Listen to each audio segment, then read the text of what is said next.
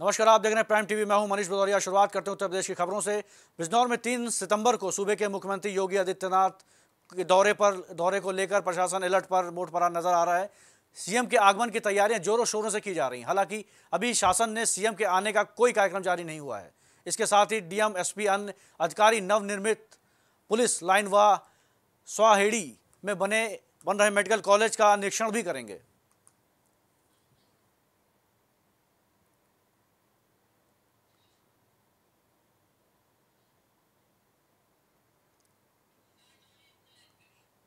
आपको बता दें कि बिजनौर में तीन सितंबर को सूबे के मुख्यमंत्री योगी आदित्यनाथ दौरे को लेकर प्रशासन अलर्ट पर रहेगा।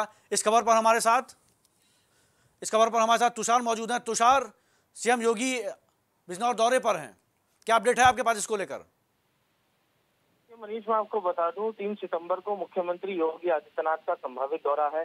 लेकिन अभी जो, जो प्रशासन है अभी तक उसको कोई प्रस्तावित दौरा जो है उनका संभावित दौरा जो है उसके लिए अभी कोई कार्यक्रम जारी नहीं किया गया है। लेकिन उसको देखते हुए जो ज़िले का प्रशासन है वो अलर्ट मोड पर है।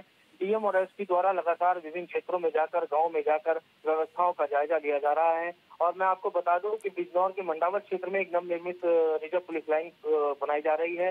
साथ ही जो कलेक्ट्रेट परिसर है, उसमें एक नवनिर्मित बिल्डिंग को बनाया गया है। कयास लगाए जा रहे हैं कि सीएम योगी जब दौरे पर आएँगे तो वो नवनिर्मित रिज़र्व पुलिस लाइन का लोकार्पण करेंगे और जो कलेक्ट्रेट में जो नई नई बिल्डिंग जो बनाई गई है, उसका भी वो लोकार्पण कर सकते हैं। साथ ही अन्य अभी ब्यूरो ब्यूरो जताया जा जताया जा रहा है कि सीएम योगी का अगर दौरा बिजौर में रहेगा तो वो किस किस चीज़ का लोकार्पण और क्या क्या शिलान्यास कर सकते हैं। लेकिन अभी कोई शासन की तरफ़ से कोई कार्यक्रम जारी नहीं किया गया है। फ़िलहाल उसको देखते हुए ज़िले का प्रशासन अलर्ट है। जी। तुषार, इस खबर पर जुड़ने के लिए आपका बहुत बहुत धन्यवाद।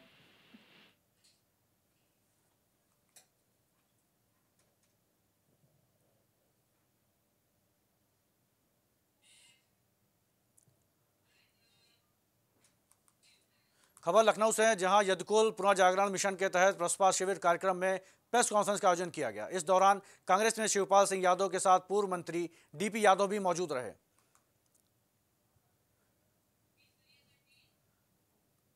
यदकुल पुनर्जागरण मिशन के तहत हुआ है आयोजन, जिसमें प्रसपा शिविर कार्यालय में प्रेस कॉन्फ्रेंस का आयोजन किया गया। इस दौरान कांग्रेस में शिवपाल सिंह यादव के साथ पूर्व मंत्री डीपी यादव भी मौजूद रहे।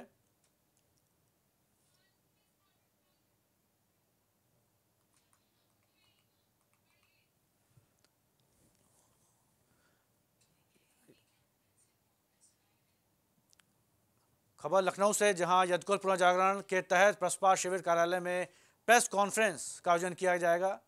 इस दौरान कांग्रेस का कॉन्फ्रेंस में शिवपाल सिंह यादव के साथ पूर्व मंत्री डीपी यादव भी मौजूद रहेंगे। प्रसपा की ओर से आयोजित इस कॉन्फ्रेंस में शिवपाल कार्यकर्ताओं को संबोधित करेंगे और 2024 को लेकर नई रूपरेखा का भी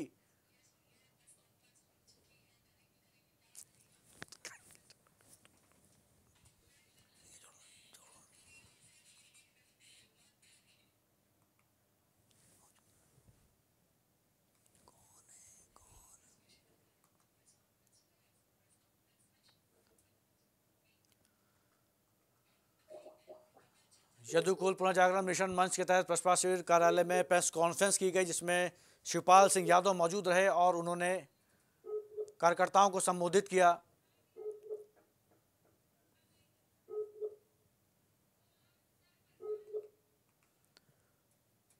इस कॉन्फ्रेंस में पूर्व मंत्री डीपी यादव भी रहे। कार्यकर्ताओं के संबोधन में उन्होंने प्रदेश में पार्टी को मज़बूत करने और 2024 की रूपरेखा को तय करने के लिए अपने विचार रखे। जिसमें पार्टी के पदाधिकारी और कार्यकर्ता मौजूद रहे।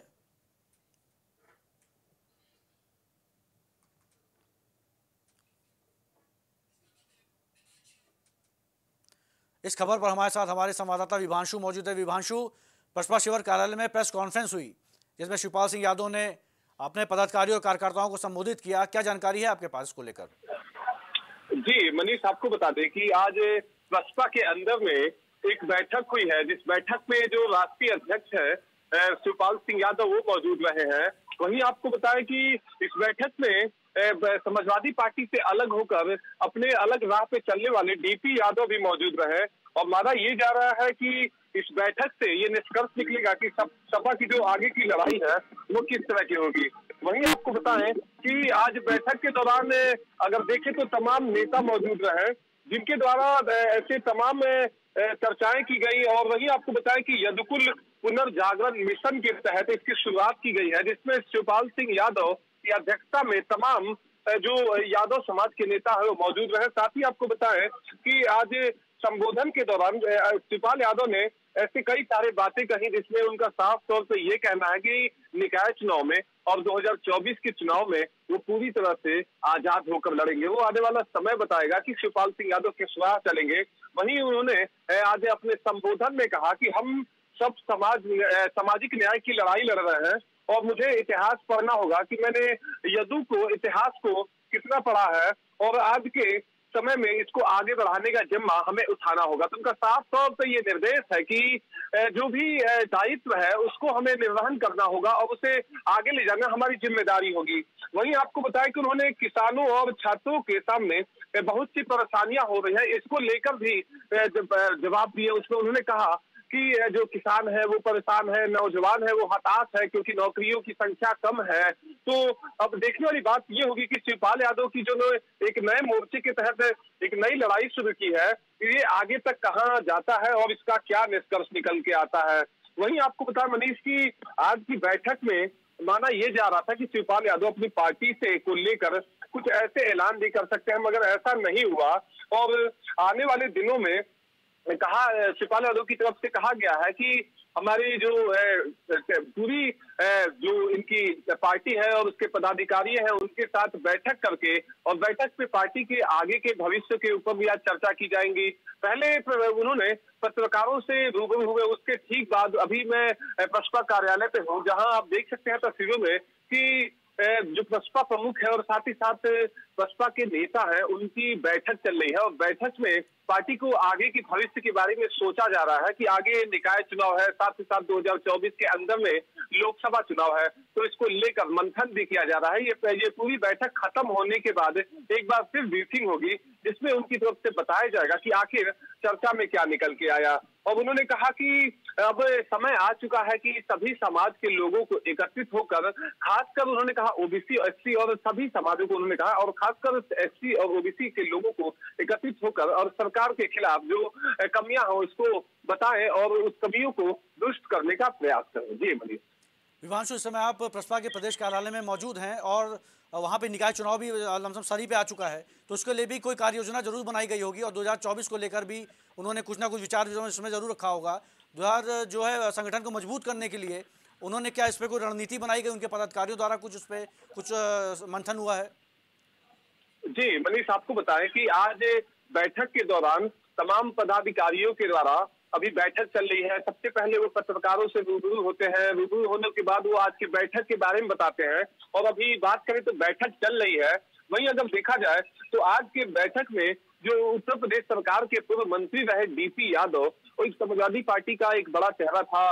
वो आज शिवपाल सिंह के साथ मंच पे नज़र आए हैं। साथ ही साथ आपको बताएँ कि पी एस पी एल के प्रवक्ता दीपक मिश्रा भी मौजूद रहे। साथ ही साथ, तमाम, जो उसकी पार्टी के पदाधिकारी हैं, उनके साथ अभी बैठक चल रही है। बैठक के बाद ये साफ़ हो पाएगा कि बैठक में क्या निष्कर्ष निकला और जो पार्टी आगे का भविष्य तय कर रही है अपना बसपा, उसमें उस, उनकी बैठक में क्या निकल के आया और उसकी तरफ़ से आज देखा जाए तो जो पार्टी के पदाधिकारी हैं, कार्यकर्ता हैं, उनको निर्देश भी दिए जा सकते हैं आगामी चुनाव को लेकर। साथ ही साथ जिम्मेदारियों की भी बंटवारे की जा सकते हैं कि जो निकाय चुनाव है, साथ ही साथ 2024 का चुनाव है तो अभी से जिम्मेदारियाँ भी बांट दी जाएँगी। अब ये आने वाला समय देखा जाएगा कि शिवपाल सिंह यादव की राह पहुँचते हैं कि आप वो एकल एकल तौर पे वो चुनाव में आते हैं या वो किसी के साथ गठबंधन करते हैं? जी, मनीष। जी, वांशु प्रस्पा की उस बैठक में क्या रणनीति बनी, क्या निष्कर्ष निकला, इस पर हम आप, मैं चाहूँगा कि आप अपडेट बना के रखिएगा, हम आपसे फिर इस पर चर्चा करेंगे।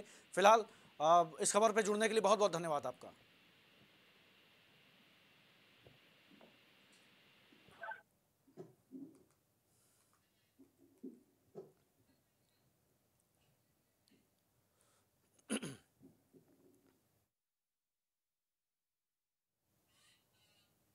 बिजनौर से सटे दारा नगर गंज में छह बीस जुलाई को कश्यप समाज व दलित समाज में मामूली कहासुनी को लेकर विवाद हो गया।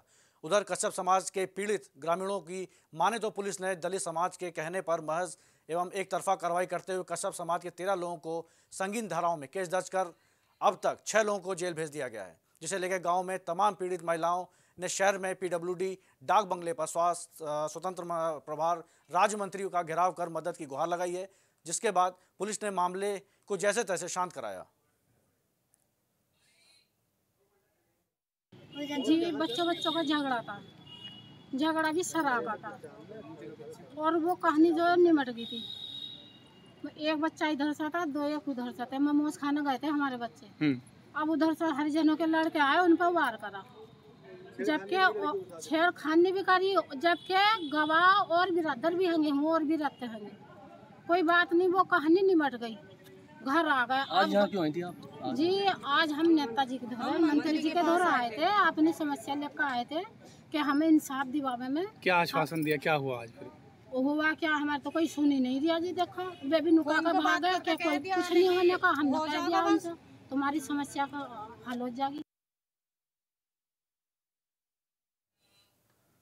हरदोई में कोतवाली बेनीगंज में किसानों ने कोतवाली के प्रमुख गेट पर धरना प्रदर्शन शुरू कर दिया। आपको बता दें, बेनीगंज कोतवाल इंद्रजीत सिंह चौहान अभद्रता से किसानों ने कोतवाली का घेराव किया। वहीं कोतवाली के बाहर किसानों ने धरने को लेकर बड़ी संख्या में पुलिस लगा लग गई है, जिसके दो दिन पहले गाँव के ही एक व्यक्ति ने नीम के पेड़ कटवाए जाने का आरोप लगाया था, जिसमें सदाना प्रधान सहित अन्य आरोपियों को पुलिस ने गिरफ़्तार कर लिया था, जिससे नाराज़ होकर दशहरी किसान यूनियन के सदस्यों ने कोतवाली का घेराव कर दिया था।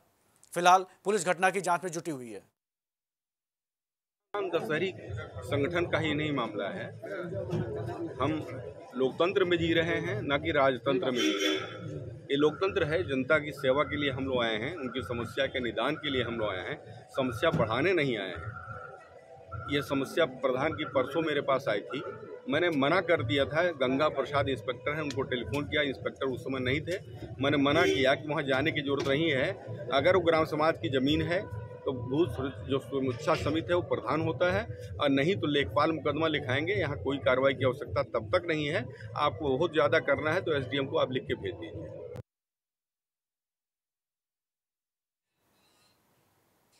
रावतपुर और ग्वाल टोली में जलभराव और गंदगी की वजह से डायरिया का प्रकोप लगातार बढ़ता जा रहा है। आपको बता दें कि कई लोगों की डायरिया से मौत भी हो चुकी है, जबकि कई लोग अस्पताल में गंदगी और मौत की जंग लड़ रहे हैं। डायरिया के बढ़ते खतरे को लेकर लोगों में, लोगों का मानना है कि बेकारगंज के गोरा कब्रिस्तान के पास नाले के ऊपर लोगों ने पक्के मकान बना लिए हैं, जिसके इलाके में पानी, गंदे नाले का पानी भरता है। वहीं इसी वजह से नाले पर कब्जादार मकान बनाने से मकान हटाए जाने के बाद लोगों को धमकी दी जाती है। लोगों ने डीएम से शिकायत भी की, लेकिन कोई कार्रवाई अभी तक नहीं हुई है। संभल के कोतवाली गुन्नौर तहसील क्षेत्र में गाँव गंगावास में, गन्ने की खेती में अजगर मिलने से हड़कम मच गया। बता दें कि गाँव में अजगर से डर का माहौल बना हुआ है। वहीं गाँव के एक युवक ने अजगर का वीडियो बनाकर सोशल मीडिया पर वायरल कर दिया है। सूचना मिलते ही वन विभाग की टीम मौके पर पहुँची और मामले की छानबीन करने में जुट गई है।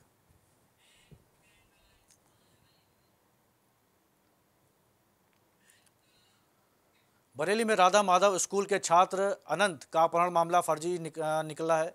पुलिस की जाँच में पता चला कि छात्र अनंत अपने आप स्कूल से चलकर पैदल दूसरे स्कूल तक पहुँच गया था और वहाँ जाकर अज्ञात युवकों द्वारा अपहरण की बात बताई थी। मामले की जाँच करने के बाद सीओ सेकेंड ने बताया कि सीसीटीवी फुटेज में बच्चा पैदल दूसरे स्कूल की तरफ़ जाता दिखाई दे रहा है। बच्चे ने आखिर ऐसा कदम क्यों उठाया? इस बात की जाँच चल रही है।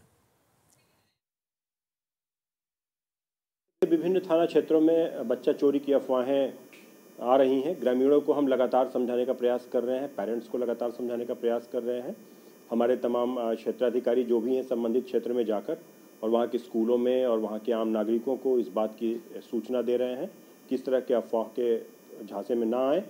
जब तक आप स्वयं घटना को न जानते हों और घटना के बारे में पुलिस जाँच आप करवा लें, उसके बाद ही इस तरह की कोई सी अफवाह के झांसे में आए। अफवाह है ये कम्प्लीटली बच्चा चोरी जैसी कोई वारदात जनपद में नहीं हुई है, ना इस तरह का कोई अपहरण हुआ है और इस संबंध में जो तहरीर आज हमें प्राप्त हुई है, उसकी संपूर्ण जाँच की गई है।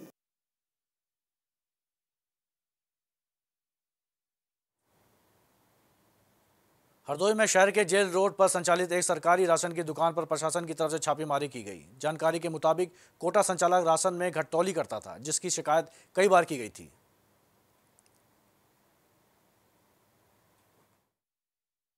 के खिलाफ आईजीआरएस पोर्टल पे एक शिकायत आई थी ये बहुत दिनों से इनकी तलाश थी क्योंकि ये वितरण का इनका मौका नहीं मिल पा रहा था मतलब वितरण के टाइम दुकान खुली नहीं मिल रही थी। तो आज इनकी दुकान खुली मिल गई है और इसमें जो पहले से तौले जा चुके राशन को दोबारा तोलने पर इनकी घटतौली की जो शिकायत थी वो सही पाई गई है। तो इनके खिलाफ विभाग, विभागीय कार्रवाई करी जाएगी और इनका कांटा जो है उसको ठीक कराकर पुनः सत्यापन कराकर इनको वापस दिया जाए कैसे क्या दिक्कत है? कितना गेहूँ और चावल मिलना चाहिए? कितना आपको मिल रहा है और किसकी शिकायत पर? बीस किलो मिलना चाहिए उसमें सोलह सत्रह किलो निकलता है राशन पूरा। बीस किलो में सत्रह किलो निकलता है राशन। अच्छा कौन आया है यहाँ? किसकी शिकायत पर आपको गेहूँ पूरा चावल मिला? है कभी कोई आया ही नहीं हम इतने ले जाते हैं। पहली बार आई है मैम कोई नहीं चेकिंग करने कोई आता ही नहीं है।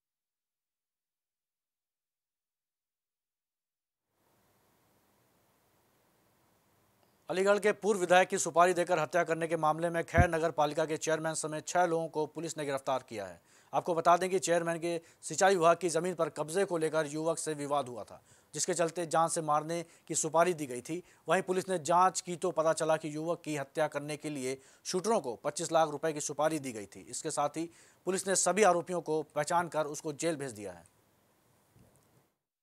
खैर नगर पालिका अध्यक्ष संजीव अग्रवाल उर्फ़ बिंटू अपराधी व्यक्ति है। इस पर हत्या करने और हत्या का प्रयास करने के अनेकों मुकदमे चल रहे हैं। इसके द्वारा अभी हाल में ही खैर इंटर कॉलेज खैर की आईटीआई भवन, जो लगभग पाँच करोड़ रुपए का लागत से बना हुआ, उसको अपने सफ़ाई कर्मचारियों और स्वयं जाकर हथियारों के बल पर, गुंडागर्दी के दम पर जेसीबी मशीन द्वारा ढहा दिया गया। उससे इसके हौसले इतने बुलंद हो गए कि इसने करवन नदी, जो सिंचाई विभाग की नदी है, उसमें डेढ़ सौ मीटर के लगभग उसको पाट दिया और पाटने के बाद में उस पर रास्ता बना दिया इंटरलॉकिंग करा दी और वहाँ ज़मीन खरीद कर दूसरी पार एक हज़ार रुपये गज की ज़मीन खरीद कर तीस हज़ार रुपये तक वहाँ पर प्लॉट बेचने इसने शुरू कर दिए सत्ताईस अगस्त को श्री प्रमोद गौर द्वारा एक तहरीर थाने पर प्रस्तुत की गई थाना खैर पर, जिसमें उनके द्वारा निर्दलीय चेयरमैन बताते हुए संजीव अग्रवाल उर्फ़ बिट्टू, इसके अलावा विकास शर्मा और राजकुमार जाट, इन तीनों को वहाँ पर नामजद किया गया, जिसमें इन्होंने बताया कि संजीव अग्रवाल वहाँ के नगर पंचायत का चेयरमैन है। और यह भी बताया गया कि इनके द्वारा इनकी हत्या की साजिश की जा रही है, तथा कुछ क्रिमिनल्स को हायर करके इनके खिलाफ जो, इनके विरुद्ध जो है ये कोई भी घटना कारित कर सकते हैं। इस सूचना पर पुलिस द्वारा तत्काल छानबीन शुरू की गई। इलेक्ट्रॉनिक साक्ष्यों के आधार पर, होटल के डॉक्यूमेंट के आधार पर, सीसीटीवी फुटेजेस के आधार पर तीन अन्य संदिग्धों को पुलिस ने हिरासत में लिया, जिनका नाम संजय, राहुल और करण है।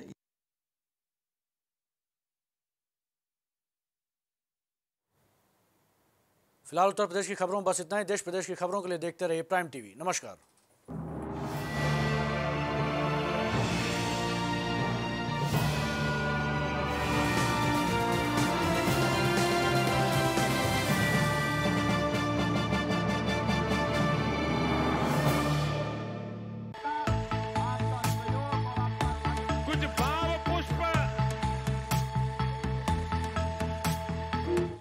देख रहे हैं प्राइम टीवी सच